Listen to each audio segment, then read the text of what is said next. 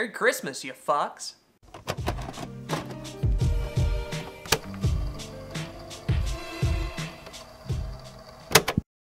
Welcome to 30 for 30. I'm your host, Aiden of Blue Couch Productions, and on this show, I'm attempting to review 30 games in 30 days. For more on the show's concept, be sure to watch the Altered Beast episode first, and then come on back.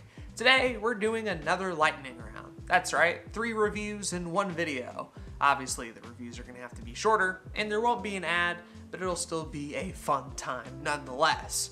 Since I'm coming to the end of the show, it's harder and harder to pick which games I need to focus on, and I think all three are interesting in their own right.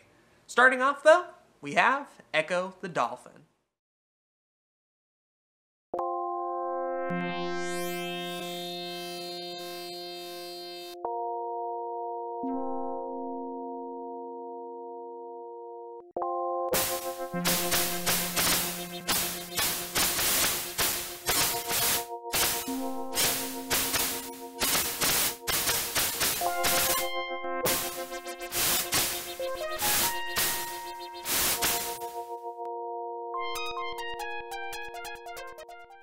You know, there's something about Ecco the Dolphin that's kind of nostalgic to me, but I don't remember why.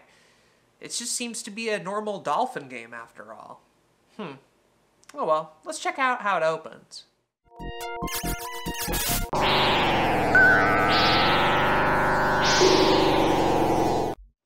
Oh.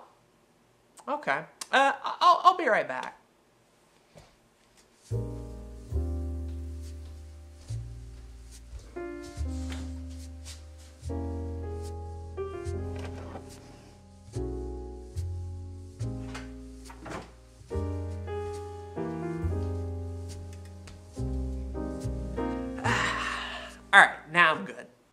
Fuck was up with that? Like, seriously, imagine a five year old me who just wants to play a cute dolphin game, and the first jump I do, suddenly the screen is flashing, all my friends are gone, and an ominous music replaces the often cheery soundtrack. Yeah, Ecco the Dolphin is scary, and it can fuck you up mentally. It's hardcore. All joking aside, though, the atmosphere is one of the more memorable aspects of this game. The Genesis is playing these haunting tunes, the ocean can feel wide open and scary at points. It really does get you in a mood, a feeling, while you're playing the game. Which, given the fact that it's about a dolphin trying to save his pod from aliens, that's pretty impressive because on the surface level, if I'm reading that, I would be laughing, but now I kind of buy into the emotion and the solemn attitude. It almost has a similar energy to Metroid, if you've played any of those games before. So, I bet you're wondering, how does this game work exactly? After all, you're playing a literal dolphin. Well, this isn't a platforming game. It's not even really about getting speed or momentum. This is an adventure game through and through, which means you're going to be wandering around these big open areas, talking to characters, and trying to figure out how to progress. I'm terrible at these type of games in the best of conditions, and in Ecco's case, these are not very good conditions. I have two major problems with this game, the first of which being the design of it is cryptic. The solutions aren't good solutions. I have to look at a walkthrough multiple times, and even then I'm like, how the fuck was anybody supposed to figure this shit out? Like, yeah, I'm supposed to use my nose to push this boulder to this exact spot, or I have to talk to a glyph, carry the signal in my mouth and then talk to another part of the stage just so I can open a little MacGuffin to move forward. Ugh.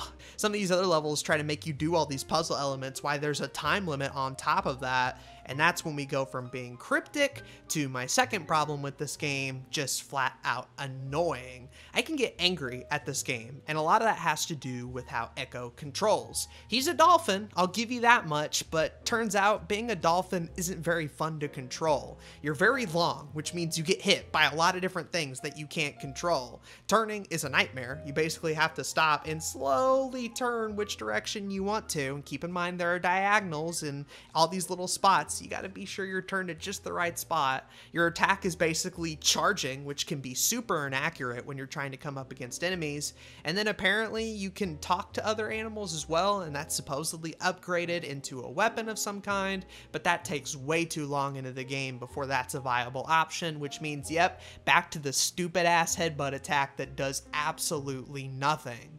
You combine Ecco's frustrating controls with its frustrating level design, and yeah, I wanted to put the game down immediately, and this time I actually did.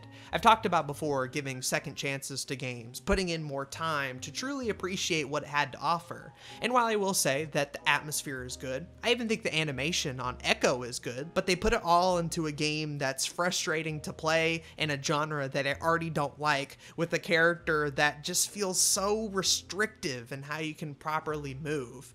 Ecco just isn't really that fun of a game, and I can't recommend it to anyone. That's why I give it one star. Yep, you heard me right. Despite the presentation, it is just too frustrating of a time to properly enjoy. Literally, play anything else.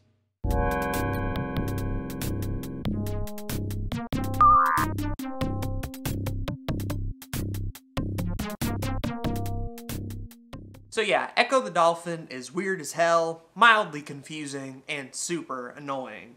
I don't think it's a Genesis game most anyone should play unless you're into point and click adventures, and even then, there are far better options. Well, that first one was a dud. Why don't we try something a bit more familiar, like Golden Axe? Right, we reviewed the first two games. Turns out there's the third one. Let's see if it's any better.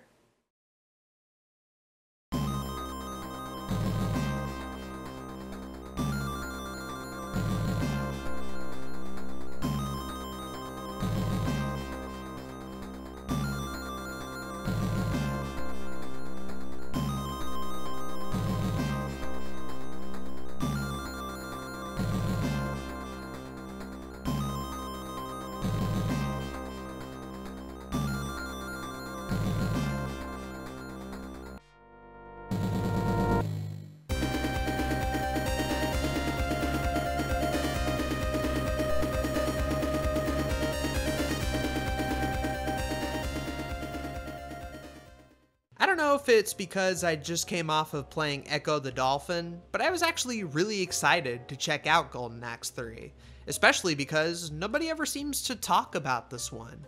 The first game is pretty popular, including all its ports, and some people like Golden Axe 2, even if I found it to be safe and repetitive, Golden Axe 3 just isn't brought up in many circles, and turns out there's a reason for it. It wasn't properly released in North America, you had to download it via the Sega channel, which was Sega's online service where you would download games from the internet and play it on your Sega Genesis. For 1995, that is way ahead of the curve, even if nobody was able to use it. Well, if it was stuck on Sega Channel, that either means one of two things. It's criminally underrated, or Sega didn't feel like releasing it in the West for some reason. Looking at the reviews, it seems not that many people really liked Golden Axe 3, saying that the game was very bad and they didn't like any of the new changes. Well, call me a contrarian if you want, but I actually think Golden Axe 3 is good. Or maybe not good, but at least interesting. Let's talk about it. For starters, we actually have four playable characters to choose from. You have the typical Axe Battler and Tyris Flare who... Oh, hold on, wait a minute. They're not Axe Battler and Tyris. It's Kain Grinder and Sarah Byrne.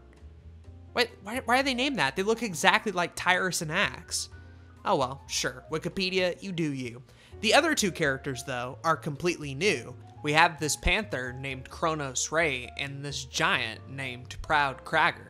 They both look interesting enough. I think I'll go with the Panther.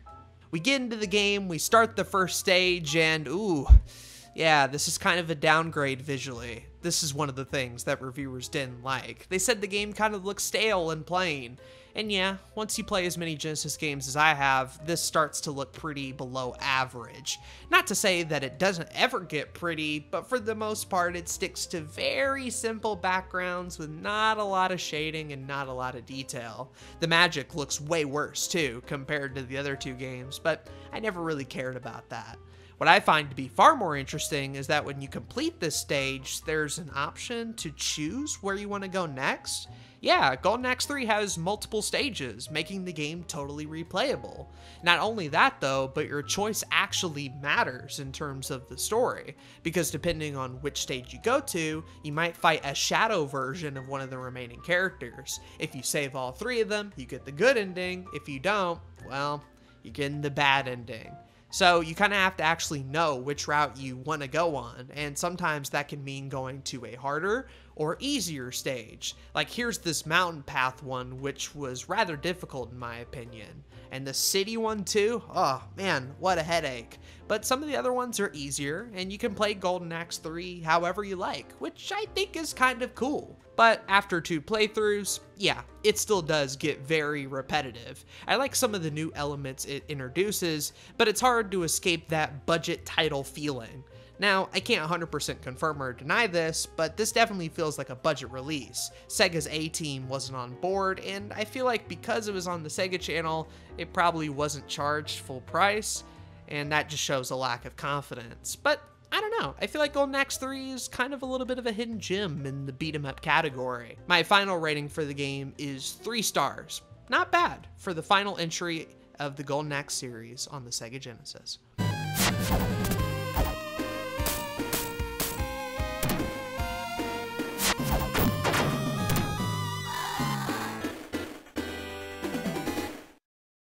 Know, for a budget title, Golden Axe 3 isn't bad at all. In fact, I think it's even a better sequel than the second game. It changes up enough things to be interesting, and while not all the new ideas land, enough of them do to leave a memorable experience and a cool beat 'em up to add to a library of already great beat 'em up games. So yeah, I honestly think Golden Axe 3 is a little bit underrated. Well, we had Ecco the Dolphin, which was terrible, Golden Axe 3, which was kind of good, that leaves our last game as sort of a mystery. Let's go ahead and take a look at the final game in this lightning round, Ristar.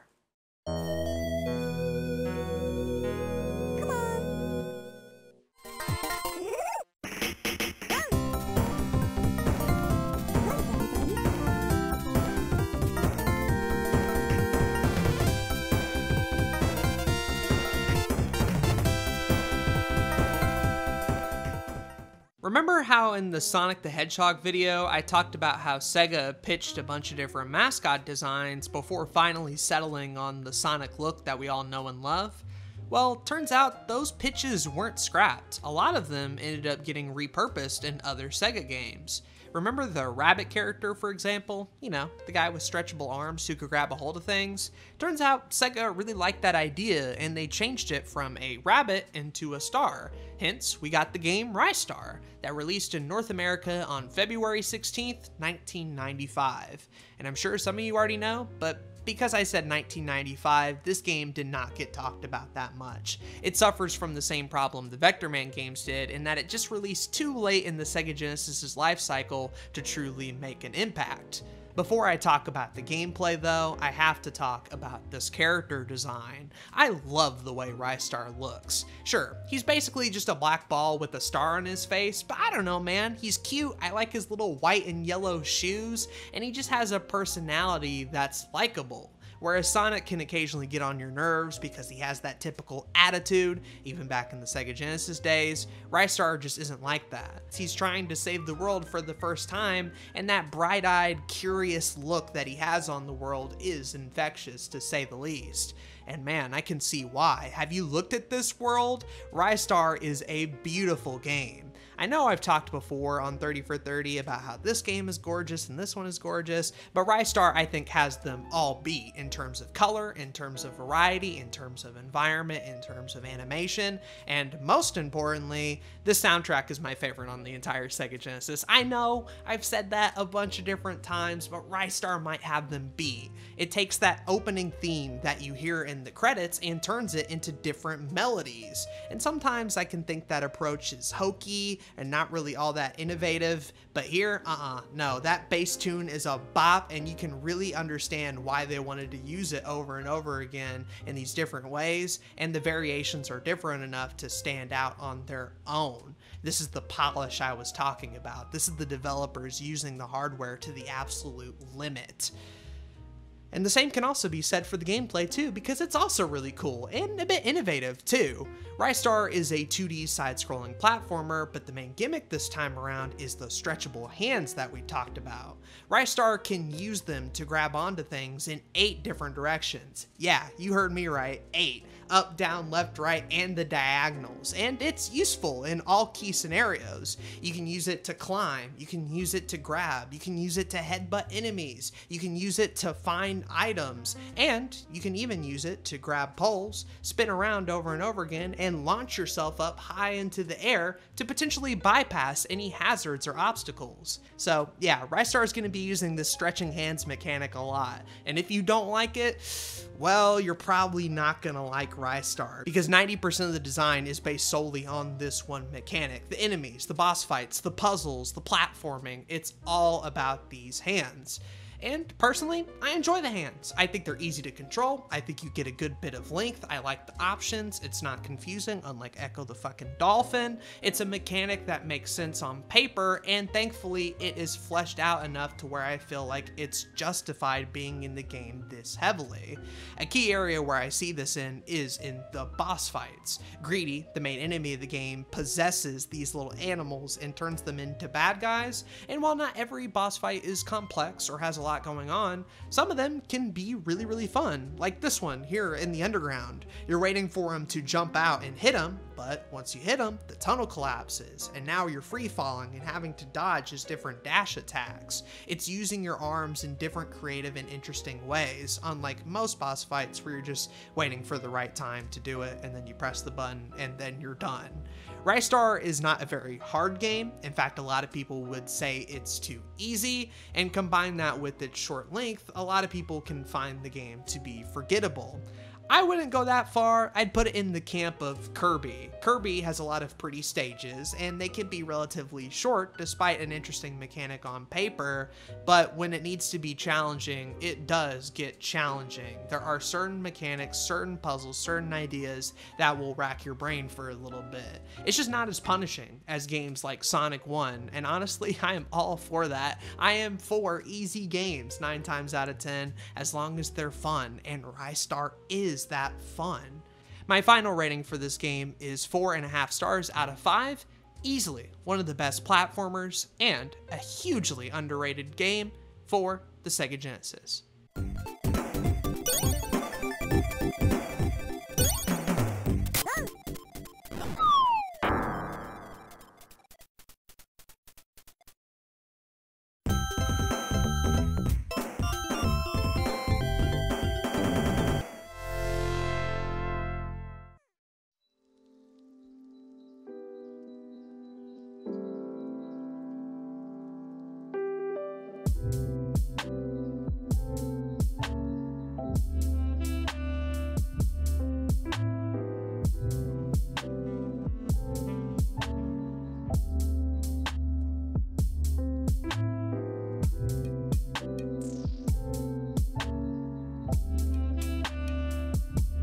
You know, a lot of the time on this show, I play games I've never heard of before, and Ristar was one of those clear examples. It surprised me in a bunch of different ways, and is a title that I want to go back to. I didn't quite beat it, but I made enough progress to wonder maybe I'll end up beating this game one day. Until that day though, that'll be it for this episode of 30 for 30. If you like this video, be sure to leave a like. If you're new here, be sure to subscribe and stay tuned because we only have two more episodes of 30 for 30, and I think the next one is going to take us back to that familiar blue hedgehog. I'm Aiden of Blue Couch Productions, and I'm signing off. Goodbye.